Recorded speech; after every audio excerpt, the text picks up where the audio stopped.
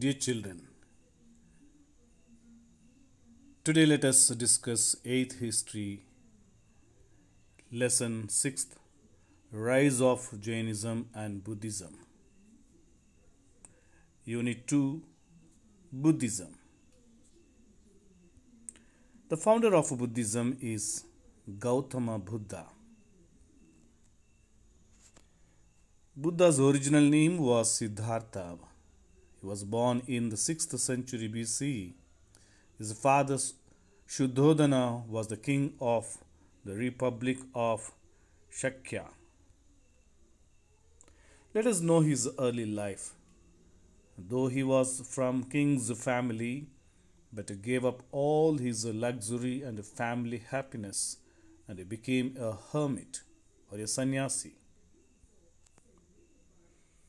These pictures tell us how he got enlightenment or the knowledge of truth. While traveling, he saw three types of people. One, a sickly person. Two, a dead body was carried. And three, an aged poor beggar. These sufferings made him to think and search for truth. Once he attained enlightenment, he gave up his family life and Siddhartha became Buddha. Let us understand his first sermon or a preaching. After he had become a enlightened one, he first went to Sarnath near Banaras. There in the deer, deer park, he gave his first sermon. This has been called Dharma Chakra Pravartana. Here he preached the Four Noble Truths and the Eightfold Path. The Four Noble Paths are Four Noble Truths are one is the whole world is full of sorrow and suffering. Two, desire or a longing for things the main root cause of sorrow. 3. Only by the liberation or the free from excessive desires could a peaceful life be led. And fourth, Buddha preached the eightfold path for eliminating these kind of desires. The eightfold paths are 1. Right action, 2. Right speech, 3. Right vision, 4. Right livelihood, 4. Right effort, 5th. Right effort, 6th. Right recollection, 7th. Right resolve, and the last 8th one, right thought. Let us know how this religion spread in the society. Wealthy merchants, artisans, and also common people were inspired by his preachings. And he spoke in Prakrit language. The local people were able to understand the lifestyle of the people of the cities changed. This new religion gave hope to people, especially this new religion brought transformation or changes in the lives of people. Later, between 500 BC to 600 AD, Buddhist not only spread Buddhism not only spread in India but also spread in other parts of the world. It spread to Afghanistan, Tibet, China, Burma, Ceylon or Sri Lanka, Japan, etc. In India, Buddha and his followers visited Kosala, Magadha, and many cities on the Gangetic plains and spread his messages. Buddha's followers walked from one city to another and dedicated their lives for others. Buddha's last journey. In his 80th, 80th year, his great services to society came to an end.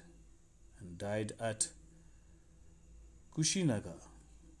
This has been called Mahaparinirvana. Next is architecture of Buddhism. Viharas or rest houses were constructed in all the areas in which Buddha moved around.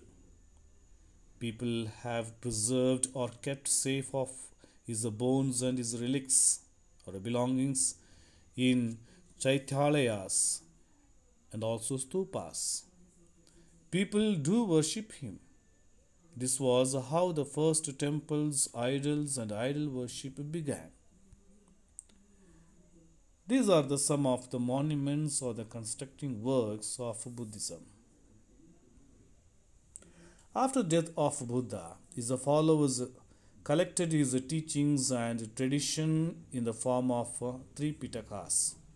They are 1. Vinaya Pitakas, 2. Sutta or Dhamma Pitakas, and third one is a Abhidhamma Pitakas.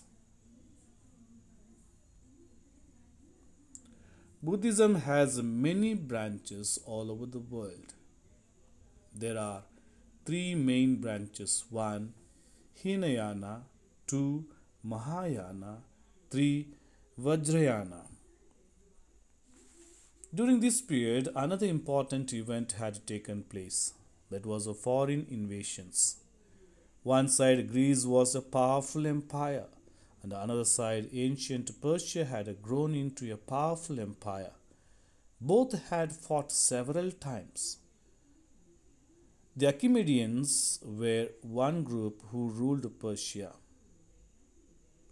In 6th century BC, King Darius of this dynasty established a strong empire.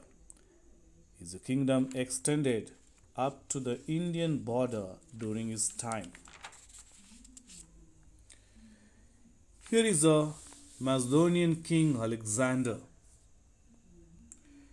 In 4th century BC, he was he won and captured a Greek city and also Persia.